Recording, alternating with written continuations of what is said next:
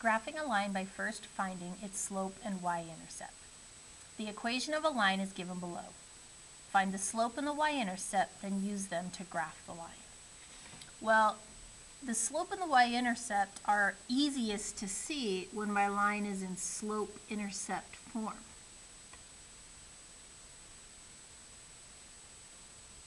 And right now, my equation is not in slope-intercept form. Slope-intercept form is y equals mx plus b. The key being the y is all by itself. It's y equals, and then everything else on the other side. Well, if you look at this equation right now, it's in standard form.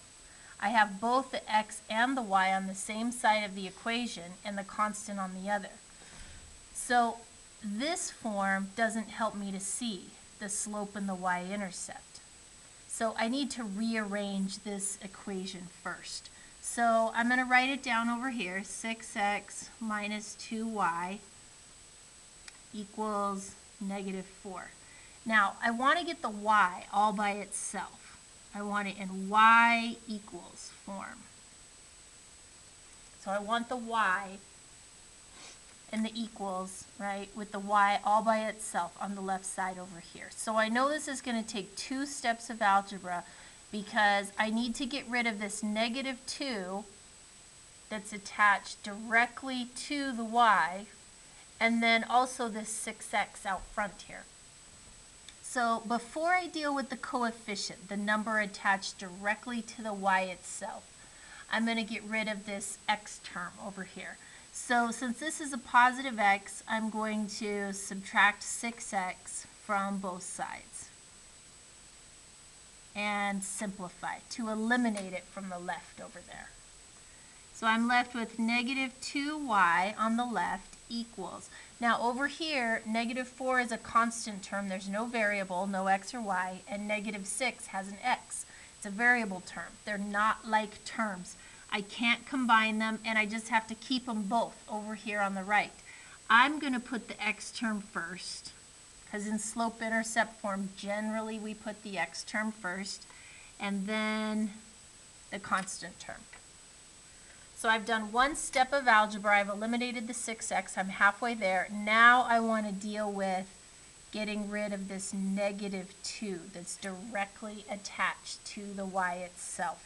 And right now, this is negative 2 times y. So the inverse operation is to divide by negative 2. And I'm going to divide every term on both sides of the equals by negative 2. Now over here, it's going to cancel out, and I'll be left with y, just like I wanted. The y all by itself on the left equals, and then I'm just going to simplify over here. So with my x, I have negative 6 divided by negative 2. A negative divided by a negative is a positive, and 6 divided by 2 is 3. So I have 3x and again here, negative divided by a negative is a positive, and 4 divided by 2 is 2. So I have a positive 2 right there. So this equation, rearranged into y equals form, is y equals 3x plus 2. Um, now I can see that my slope is 3, the number attached directly in front of the x, and my y-intercept is 2. So my slope is 3, my y-intercept is 2, and now I can go ahead and graph, graph this.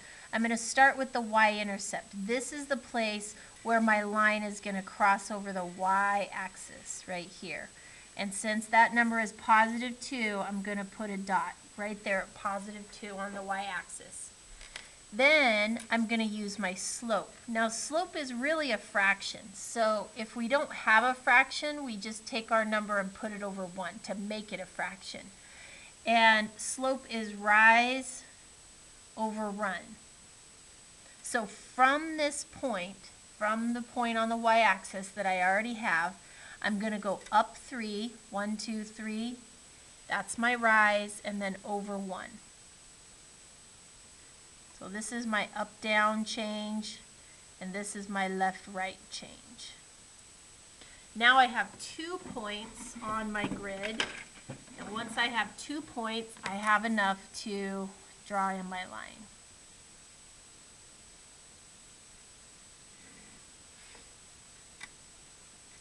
And I'm done.